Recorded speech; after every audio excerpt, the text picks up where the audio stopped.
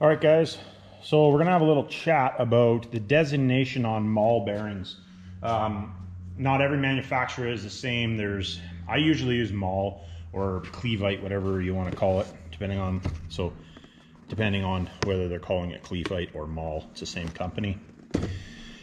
Talking about designations of bearings, um, this is not all of them, but a bunch of them. The most common ones that you would see um, buying bearings.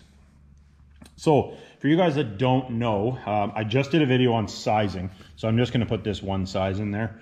Um, just there is a reason for that size. So your standard bearing that most guys are gonna use is this gonna be this first one. These part numbers are for um, a 12 valve or VP44. So not a, they, that's, this is a machined rod, not a, a cracked or fractured rod. The fractured rod is a different part number.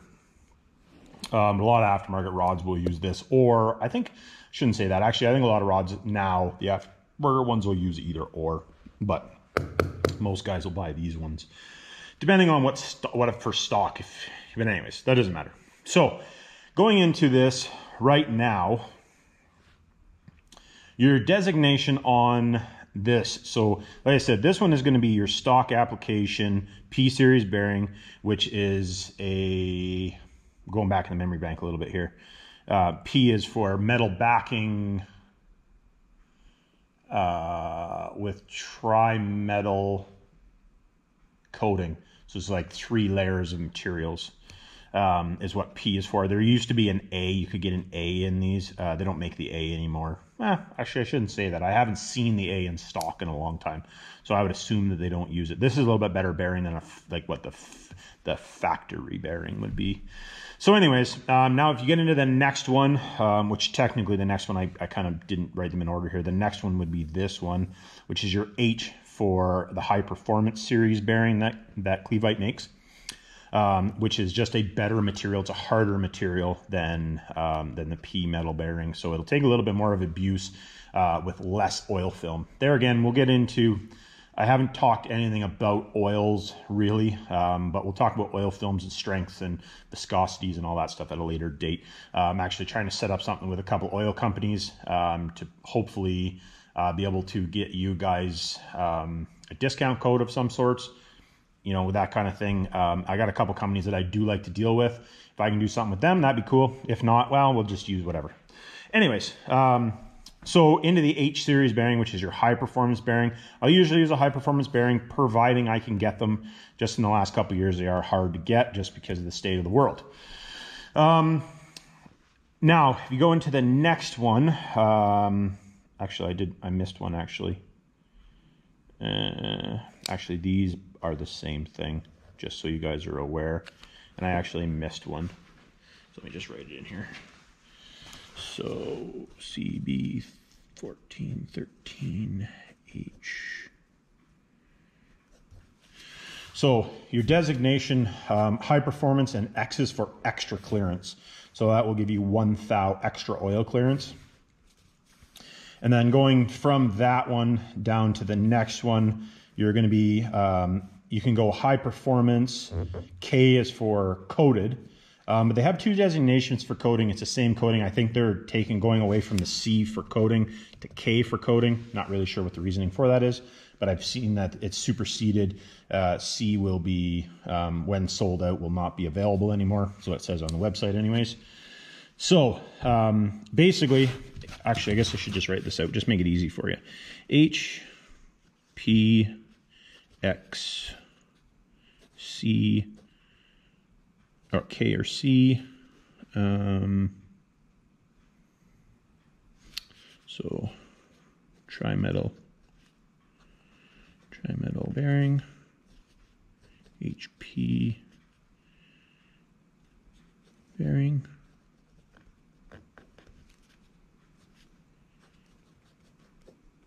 Extra clearance, extra clearance, see if I can spell Probably not. Clearance, one thou, and then coated.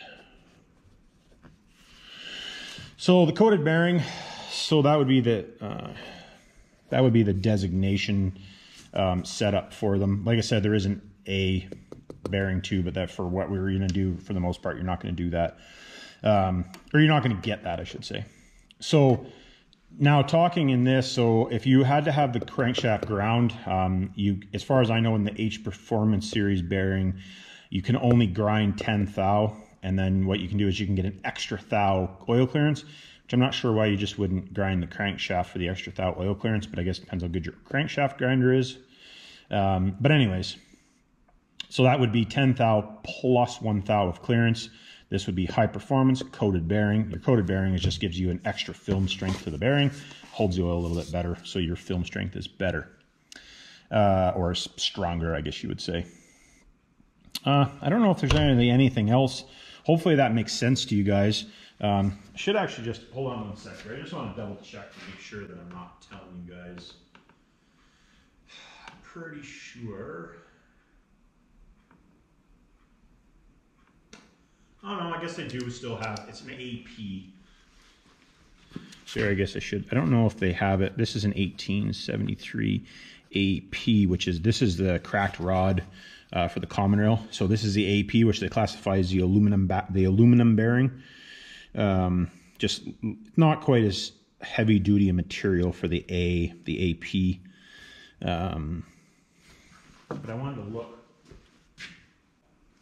yeah, so the P is the tri-metal, tri-metal, and then the AP is for aluminum. Um, so just, I don't know what the difference, to be totally honest, because this is what we'd usually use in a common rail, but then we would usually just use a P in the, the 12 valve. So I don't know if the aluminum is supposed to be more like a factory, a factory bearing or what the deal is, to be totally honest. Yeah. So, anyways, the AP is the AP is the aluminum bearing, um, which so it just has a. Um, it's supposed to be technically tri-metal aluminum lower half and then tri-metal upper half is basically what it is. Um, I prefer I prefer using the high performance bearings, but they're considerably more money. They're like more than double the price. So anyways, I hopefully this uh, this video helps you guys out as far as uh, the designation side of things goes. So I guess I can write AP in there. AP alloy lower and then upper tri-metal. If I knew how to spell metal. There we go.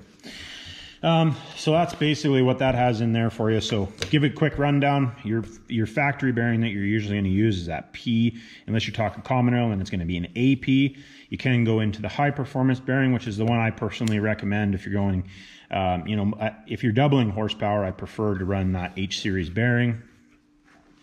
Um, it's completely up to you. Lots of guys have made gobs and gobs of power um, on the P or on even the original AP style bearing lots of guys have made lots of power on the cheap bearings. You know, something from, uh, you know, um, AIP or, you know, whoever, cheap bearings.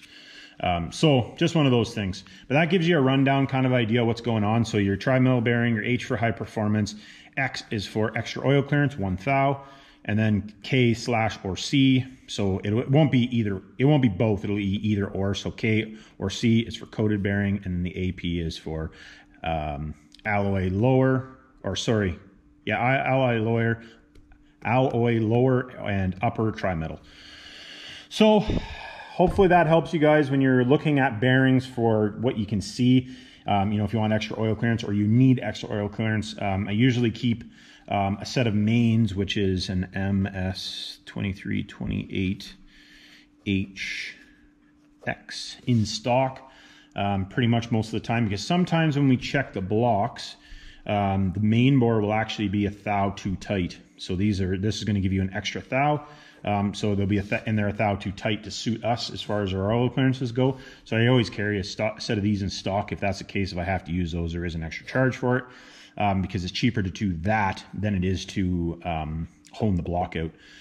Because you're talking, you know, let's say a hundred dollars extra for the bearings something like that.